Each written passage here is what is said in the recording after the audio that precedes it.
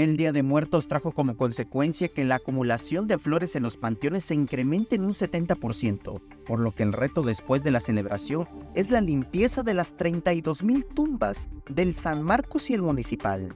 Después de que pase el Día de Muertos, tenemos otra labor titánica, sacar todo lo que queda, porque pues, hay que eh, retirar todo lo que va quedando. Afortunadamente, este, entre el personal de aquí del Panteón y la Secretaría de Servicios Municipales que nos apoya para sacar todo lo que nos va quedando. Este, lo hacemos yo creo que en un mes más. En diciembre ya tenemos todo limpio otra vez.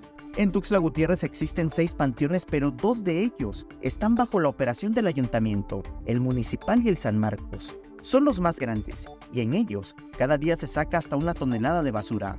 En este Día de Muertos, la cifra fue siete veces más. El encargado de los panteones le pidió apoyo a la ciudadanía para que posterior a la celebración retiren sus flores. Primero es que nos ayuden a retirar toda la basura, la flor muerta. Para eso tenemos dispuesto ya contenedores en todo el panteón que nos ayuden a retirar su, su basura. Y la otra es que cambien el agua de los floreros por arena húmeda.